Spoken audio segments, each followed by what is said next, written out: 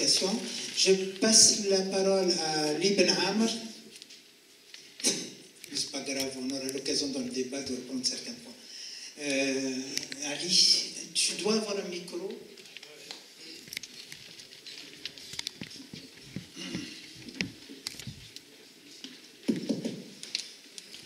Vous m'entendez? Parfait. Bien. Bonjour à tout le monde. Euh, mon intervention est, un témoignage et une réflexion sur le processus électoral tunisien à travers une pratique en tant qu'acteur de premier plan de l'Élie France 1, parce que, comme on vous l'a dit, j'étais ancien président de cette instance, mais surtout, je ne veux pas me positionner en tant qu'observateur extérieur, neutre.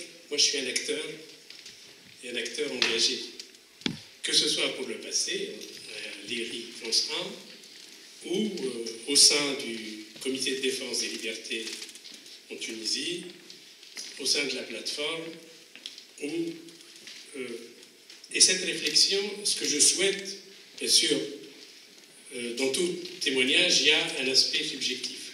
Donc je l'assume. Euh, mais ce que je souhaite, c'est qu'il soit contredit et soit critiqué éventuellement. J'ai essayé aussi dans ma réflexion, bien sûr, d'avoir, je suis de formation historienne, donc tout bilan doit avoir un regard critique sur l'expérience du passé. Mais je suis quelqu'un qui refuse toutes les stratégies de rupture avec le passé. Il n'y a pas d'année zéro. Il y a toujours une continuité, même quand elle est mauvaise. Euh, et je préciserai ma pensée sur quelques exemples. Donc, je vais aborder euh, le processus électoral, bien sûr, de façon un peu sélective, puisque je vais parler de la circonscription que je connais le mieux, c'est celle de IRI, France 1, donc, ou France 1, c'est-à-dire la France du Nord. Vous savez très bien que le processus électoral en Tunisie, que ce soit à l'intérieur ou à l'extérieur, ne peut être analysé et examiné que en, en lien avec les rapports de force politiques, des enjeux et des calculs des uns et des autres. Je n'ai que quatre exemples rapides. Ça a commencé par la relation avec l'ancienne ISI et les anciennes IRI. Vous savez très bien que l'ancienne ISI a supervisé un processus électoral qui, le 23 octobre ou le 24 octobre, tout le monde, dans les cinq continents, disait qu'il était réussi que c'était quelque chose, donc c'est-à-dire qui représentait une nouveauté dans la Tunisie d'aujourd'hui. C'est-à-dire, après 55 ans de manipulation des élections, on a eu des élections qui ont réussi. Bien sûr, la réussite n'est jamais totale ni parfaite.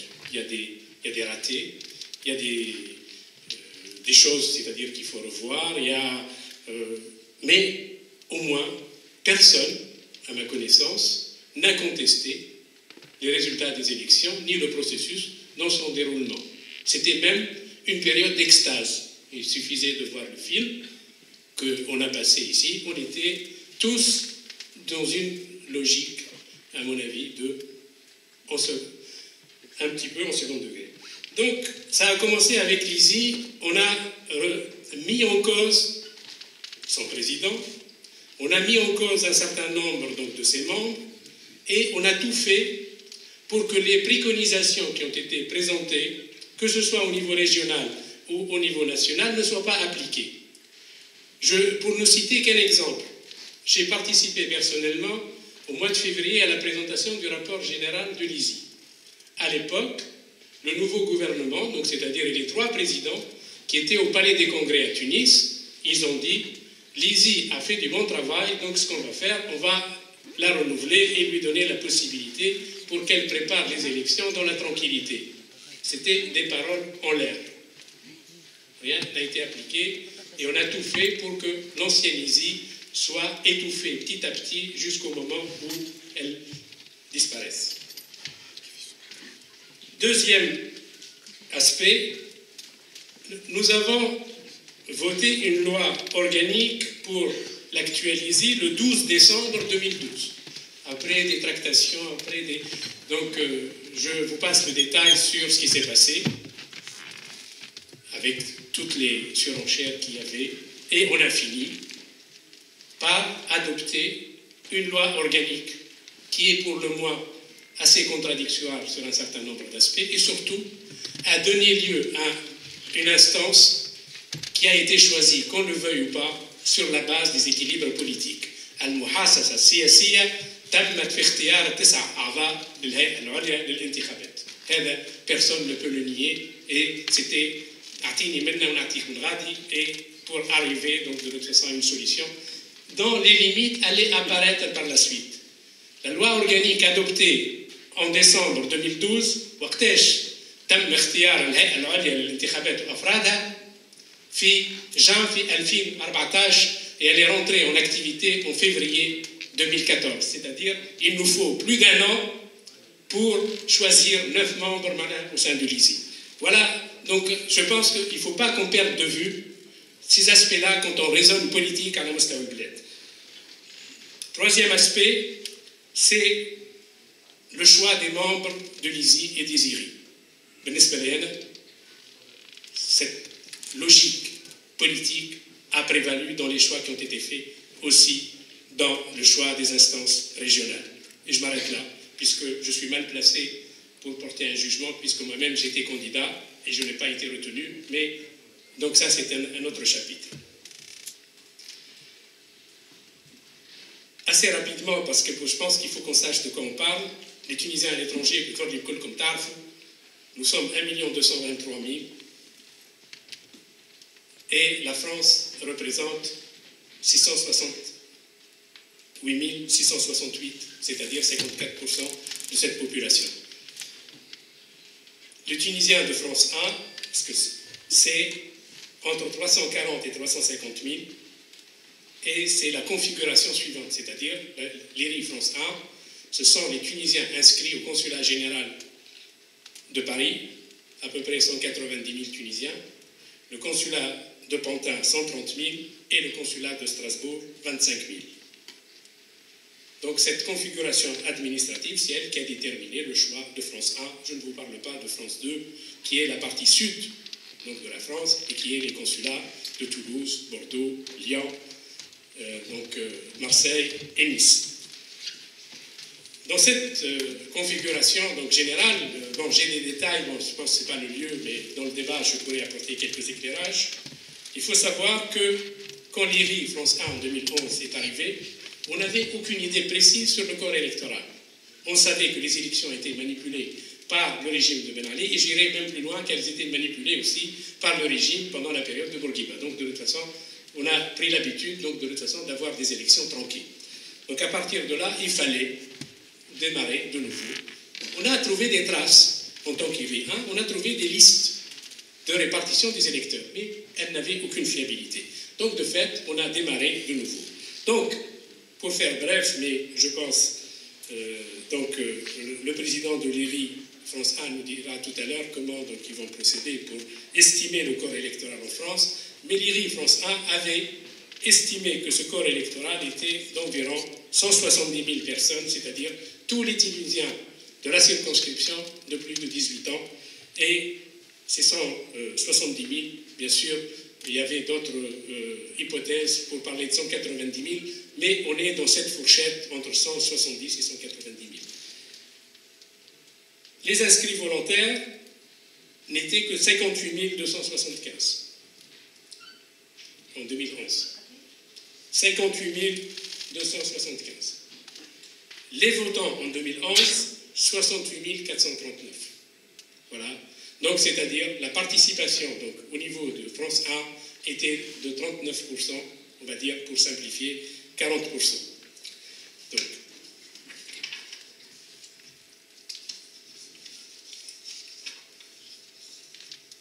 je pourrais vous donner d'autres davantage, mais je vais là me euh, pencher immédiatement donc, sur le bilan de France 1, tel que personnel je l'ai vécu, et surtout, je ne vais pas m'attarder sur le bilan, c'est quels sont les enseignements qui aujourd'hui nous devons tirer pour réussir le futur processus électoral.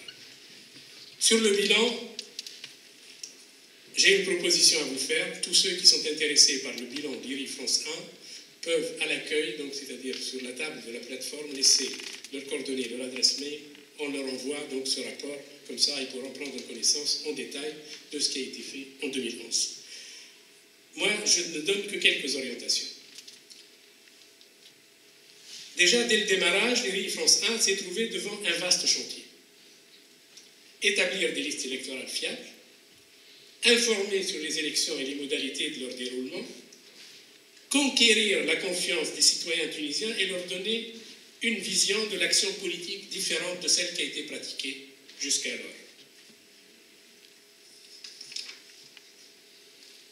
En dépit des difficultés, des ratés, des imperfections, nous pensons, et je pense que le challenge a été gagné.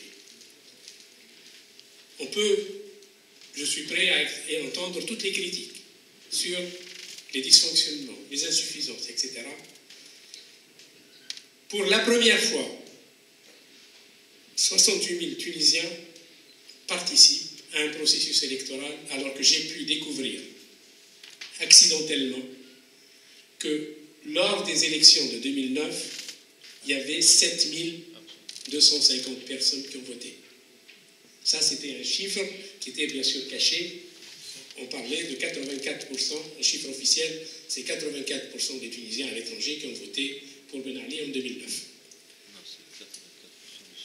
Donc, participation de dizaines de milliers de personnes donc, à une élection pluraliste et libre. Mobilisation de centaines de bénévoles pour les inscriptions, la tenue des bureaux de vote et pour, ou pour travailler dans les commissions et les groupes de travail.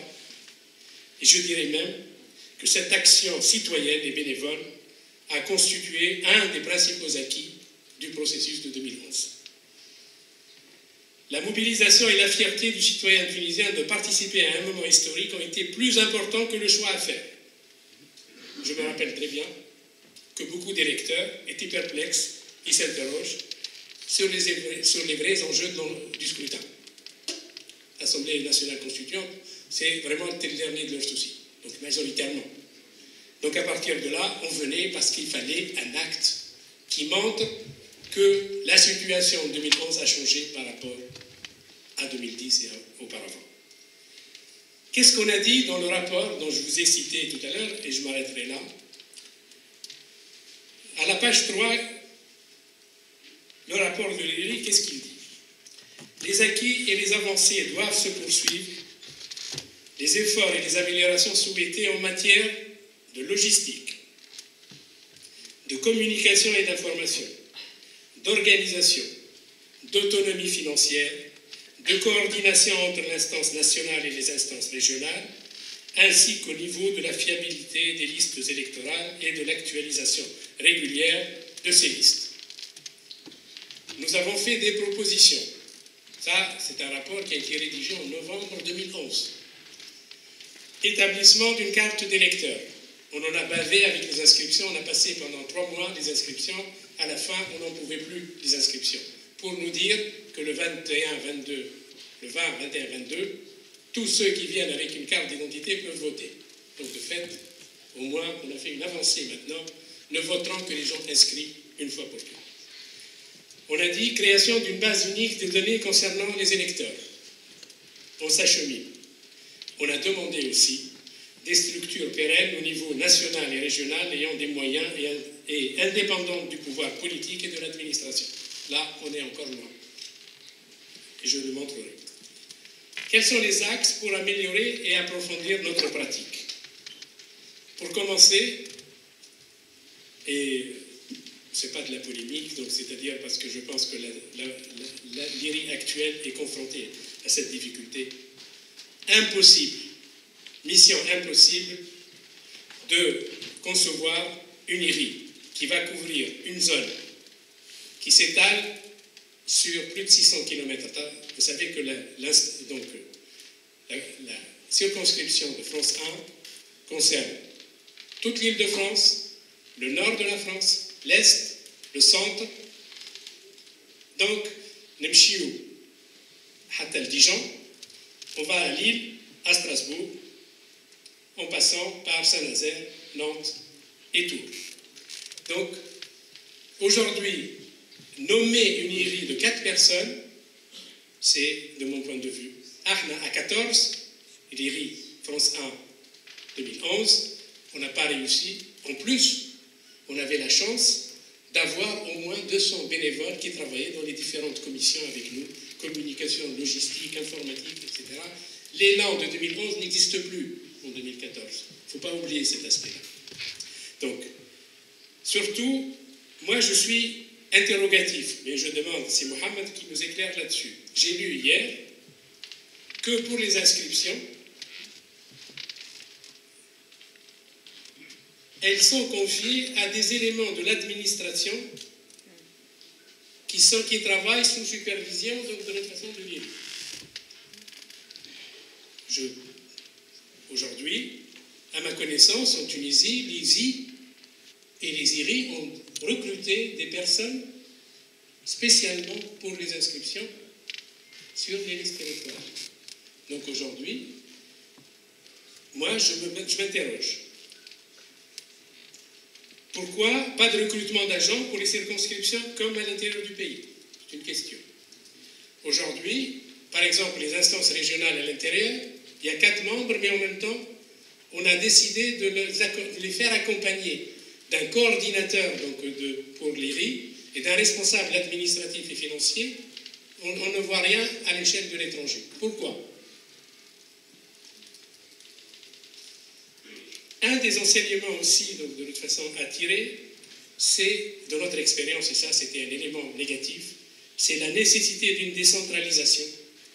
On a travaillé beaucoup de façon centralisée, et surtout la nécessité de la création d'instances locales des élections. C'est-à-dire, aujourd'hui, il faut une instance locale au Conseil général de Paris, une instance locale à Pantin, une instance locale à Strasbourg. Autrement, donc tout se gère à partir de Paris et ça c'est impossible. Les bureaux de vote, assez rapidement, je pense qu'aujourd'hui, je ne rentre pas dans les détails, mais il y a nécessité d'une révision de la répartition. Moins de saturation à Paris et à Pantin. Tous ceux qui ont voté, vous vous rappelez qu'est-ce qui s'est passé de toute façon consulat général donc, à Pantin. Plus d'équilibre régional. Donc c'est-à-dire ça c'est quelque chose, c'est une recommandation définir plus de rigueur et de sélection dans le choix des membres des bureaux de vote. C'est impératif aujourd'hui si on veut réellement garantir la transparence des élections. Pour ces personnes, présidents ou assesseurs, etc., davantage d'accompagnement, de formation et de familiarisation avec les supports électoraux, les listes, les PV, les litiges, les rapports avec les observateurs. Donc ça, c'est tout un chantier, celui des bureaux de vote. Personnellement, je suis je serai prêt à donner mon expérience là-dedans pour éviter toutes les lacunes, tous les ratages qu'il y a eu concernant les bureaux de vote. Deuxième volet, la relation avec l'administration. Je ne suis pas naïf. Je pense que les, ces relations sont nécessaires et indispensables. Nous ne sommes pas isolés. Nous travaillons, il y a des représentants donc du pouvoir tunisien et à l'étranger, nos interlocuteurs sont les consulats et les ambassades. Par contre, ce qui est à vérifier, ce n'est pas d'établir des relations, c'est l'autonomie des structures électorales par rapport à ces administrations. Ça, c'est le point clé.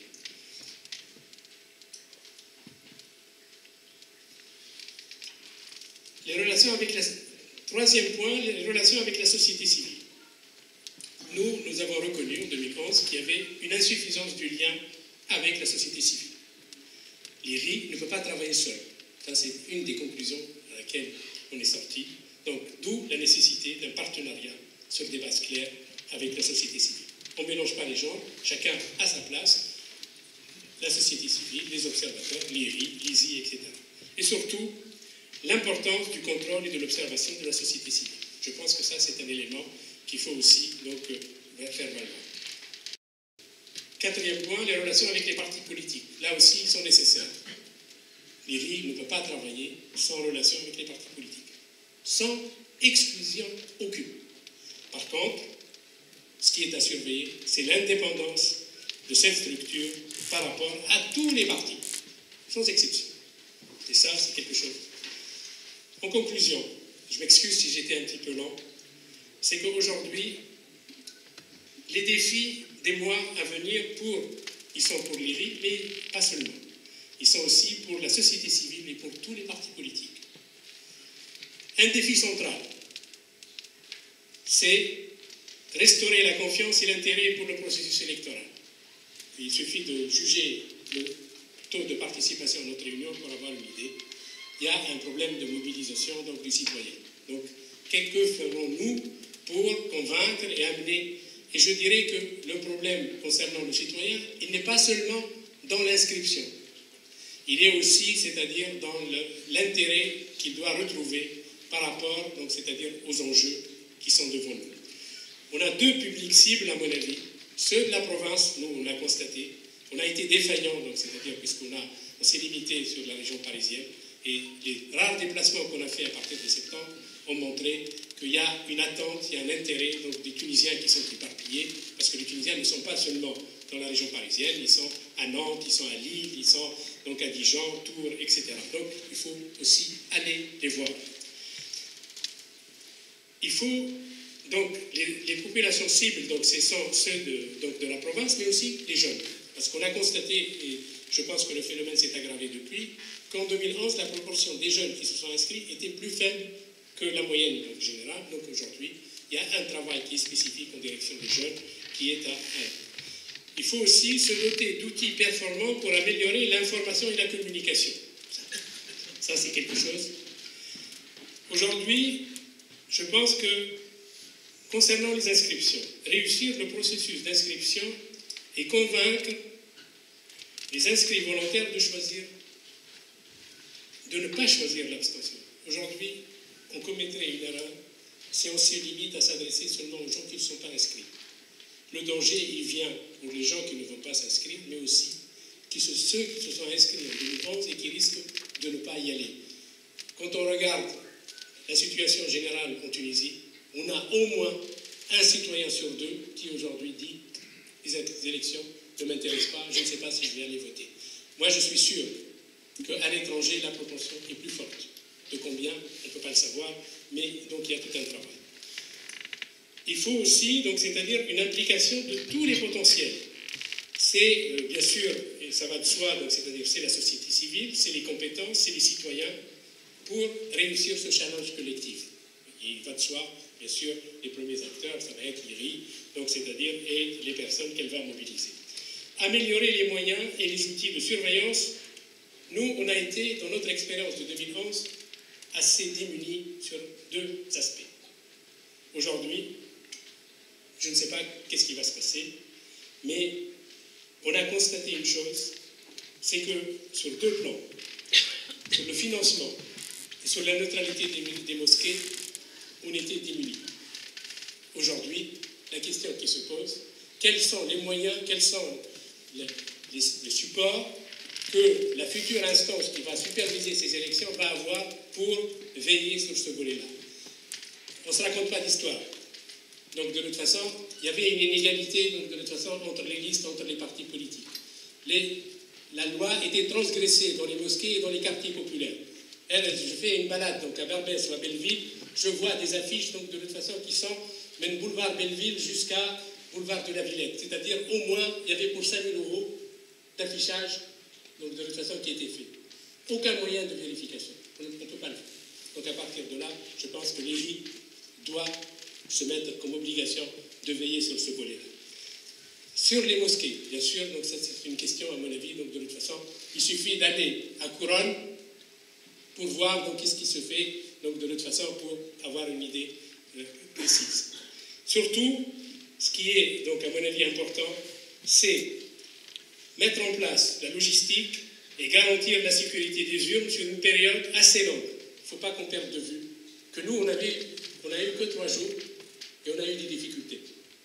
Aujourd'hui, les prochaines élections, c'est trois fois trois jours. S'il y a un deuxième tour des présidentielles, c'est trois fois trois jours. Comment, en deux mois, organiser neuf jours d'élection et garder les urnes et la sécurité donc, de toute façon du vote C'est une question majeure qui est posée et qui n'est pas simple. Je me demande même si certaines mairies vont accepter de nous accorder donc, de façon des bureaux et des places pour une période aussi longue et aussi contraignante, c'est-à-dire ce vendredi, samedi, dimanche. Et puis pour finir, permettre aux, citoyens de choisir en connaissance de cause et en disposant des propositions et des programmes des candidats. Ça, c'était absent en, 2011. Les gens venaient, je me rappelle, ils venaient s'inscrire et ils nous disaient Est-ce qu'on a comme si document tel ou tel courant ou telle politique? C'était pas l'ordre. C'était pas l'IRI qui devait le faire. Donc aujourd'hui, je pense qu'au moins, avant les élections, il faut qu'il y ait un envoi où il faut mise à disposition, donc c'est-à-dire des propositions des uns et des autres. Et puis, pour finir, je dirais qu'en dépit des questionnements, des appréhensions qui sont légitimes, de toutes les interrogations, je reste persuadé que tous, quel que soit notre positionnement, société civile, parti politique, élus, citoyens tout court, il faut s'impliquer et surtout, il faut se mobiliser pour que ces élections soient une réussite et surtout qu'on ne soit pas, c'est-à-dire dans une situation. J'étais personnellement, j'ai vu les élections législatives en Libye récemment, et ça fait froid au dos. Si la Tunisie lui arrive, ce qu'on ne l'espère pas, donc c'est-à-dire qu'il y ait un éloignement donc, des citoyens par rapport au processus électoral, ça c'est une catastrophe nationale. Et à partir de là, je pense qu'aujourd'hui, il faut plutôt se mobiliser. Donc, s'impliquer, contrôler dans un esprit de vigilance citoyenne. Merci et je suis à votre disposition pour répondre à toutes les interrogations et questions.